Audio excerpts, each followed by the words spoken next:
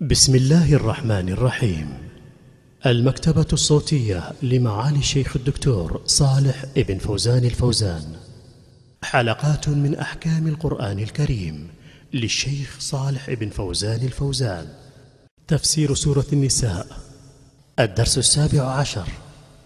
بسم الله الرحمن الرحيم. الحمد لله رب العالمين. صلى الله وسلم على نبينا محمد وعلى آله وصحبه أجمعين. ما زال الكلام موصولا في الاستفادة من قوله تعالى يا أيها الذين آمنوا خذوا حذركم. إلى قوله تعالى فأفوز فوزا عظيما. وقد ذكرنا في الحلقة السابقة بعض ما يظهر لنا من هذه الآيات والآن نقول أيضا يؤخذ من هذه الآيات أن المؤمن المجاهد على خير سواء حصل النصر أو لم يحصل. فإنه قد أجاب داعي الله عز وجل وخرج للجهاد وشارك فيه فهو حصل على ما أخبر به النبي صلى الله عليه وسلم.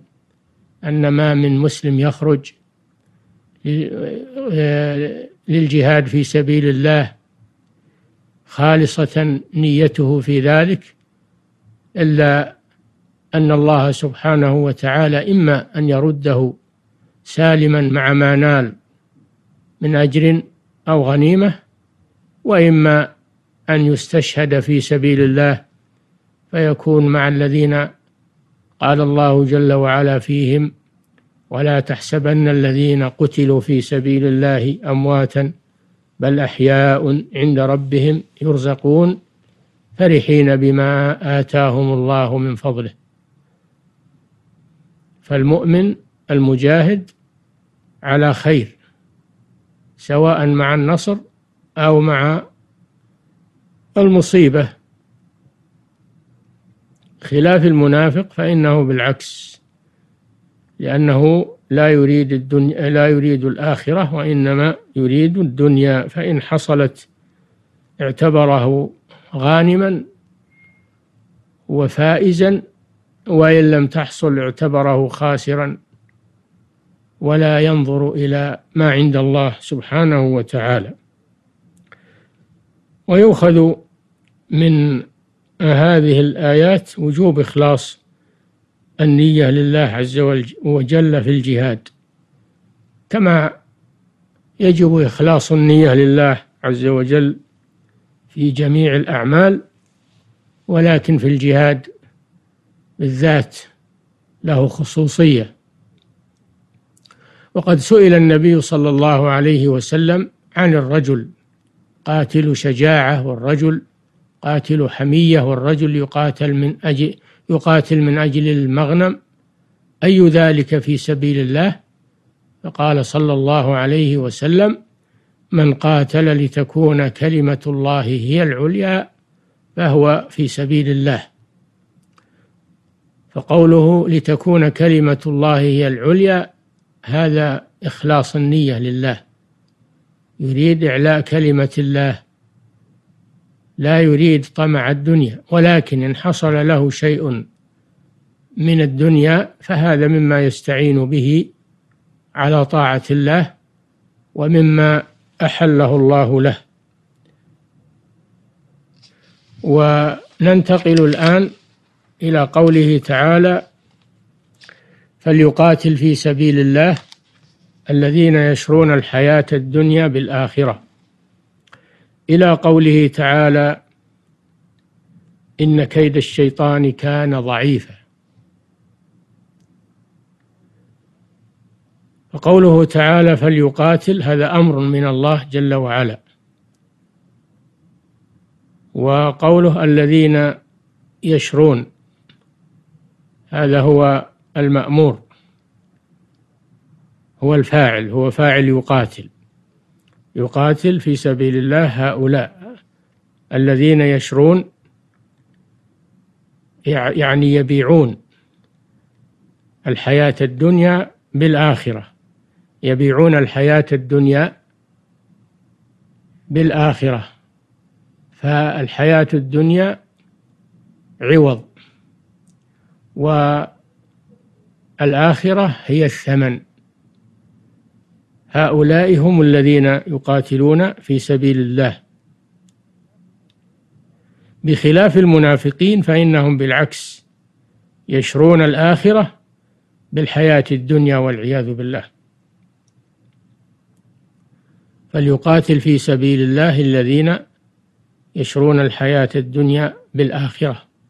وهذا كما في قوله تعالى إن الله اشترى من المؤمنين أنفسهم وأموالهم. بأن لهم الجنة يقاتلون في سبيل الله فيقتلون ويقتلون وعدا عليه حقا في التوراة والإنجيل والقرآن ومن أوفى بعهده من الله.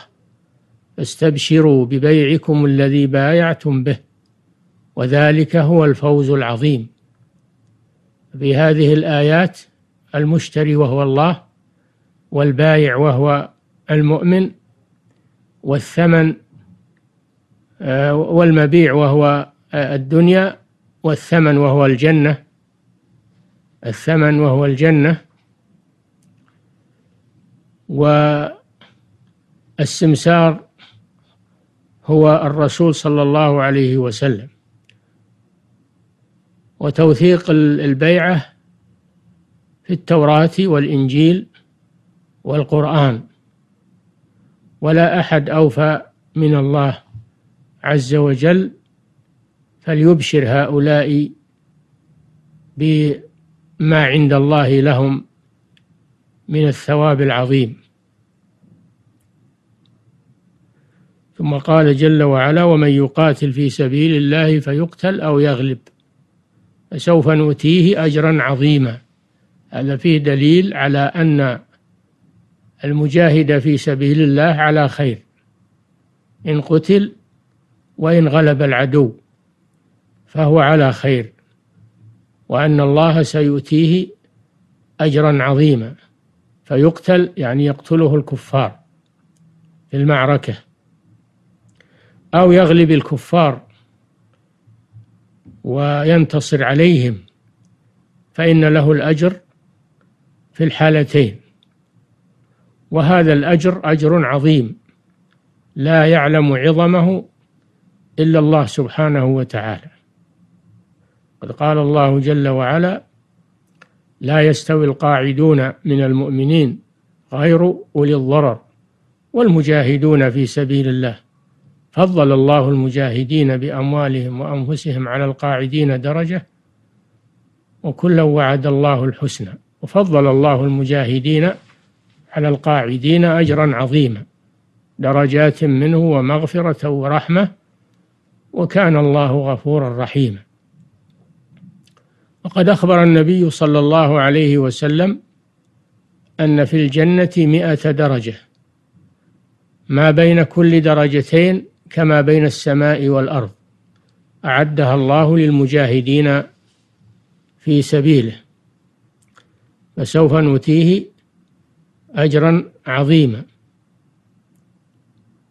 ثم إنه سبحانه وتعالى قال وما لكم لا تقاتلون في سبيل الله والمستضعفين.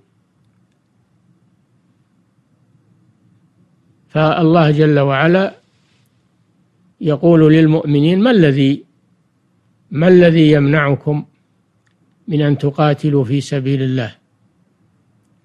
فإنكم في سبيل الله لا تقاتلون لأي شيء إلا لوجه الله سبحانه وتعالى ولكم عنده الأجر العظيم.